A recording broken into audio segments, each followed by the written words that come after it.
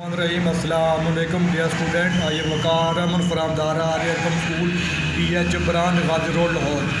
Today we read the subject English of class five dear student we read the next half reading of chapter number seven Alam commanded the number 11 squadron until April 1966. अप्रैल उन्नीस सौ छियासठ तक आलम ने squadron eleven की command संभाली।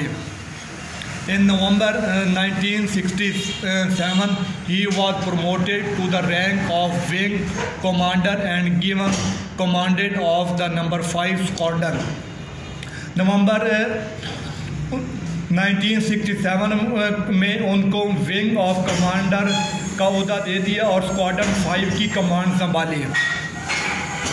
His final position was chief of flight safety उनकी आखिरी position chief of flight safety थी।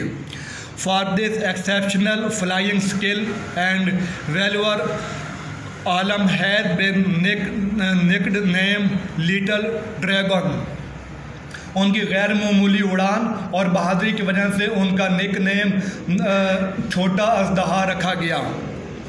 His war time exploits have made him famous all over the world for this service उनकी जंग के दौरान बहादुरी के कारनामों को उसने पूरी दुनिया में मशहूर कर दिया for his service to the nation during the war government of Pakistan awarded Alam the uh, Star Jurrat.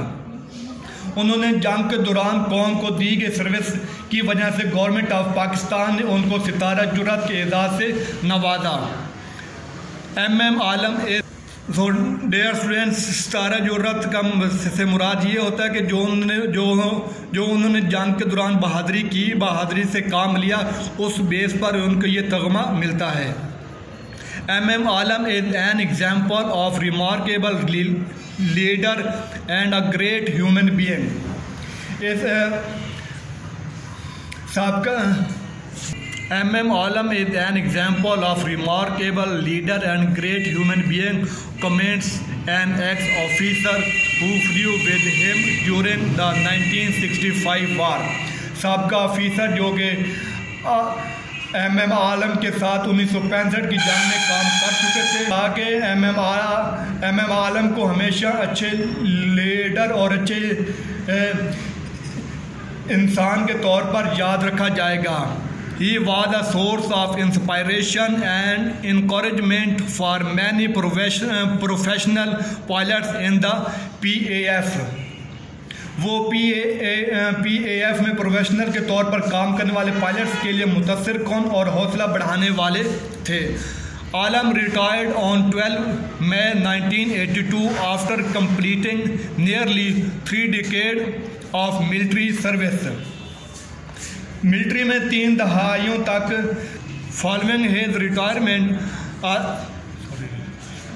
Alam retired on twelfth May 1982 after after completing nearly three decade of the military service military में तीन दहाइयों तक मुलाजमत करने के बाद M M Alam 12 मई उन्नीस सौ बयासी को रिटायर हुए। But then he had attain the rank of air commodore तब उन्होंने कमिश्नर ऑफिसर का अहदा संभाला। Following his retirement Alam lived a simple life in the sparsely furnished apartment in apartment in Karachi retirement के बाद वो कराची में एक अच्छे और बेहतरीन अपार्टमेंट में सादा ज़िंदगी बसर की। He was a very learned and knowledgeable man and regularly contributed to the PAF educational activities.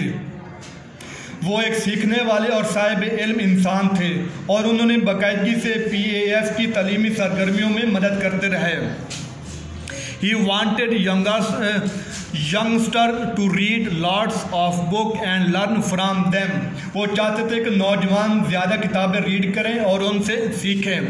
He died in Karachi on 18 March 2013 वो 18 मार्च 2013 को कराची में वफात पा गए।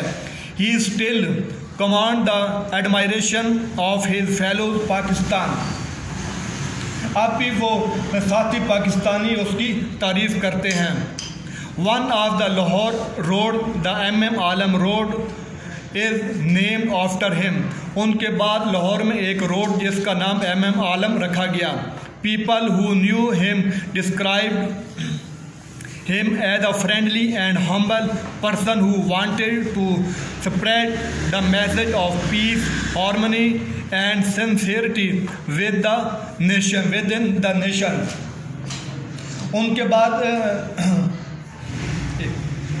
उन्हें जानने वाले लोगों ने उन्हें एक दोस्ताना और शाइस्ता शख्स करार दिया, जो कौम के अंदर पीस, हम आहंगी और अखलास का पैगाम फैलाना चाहते थे।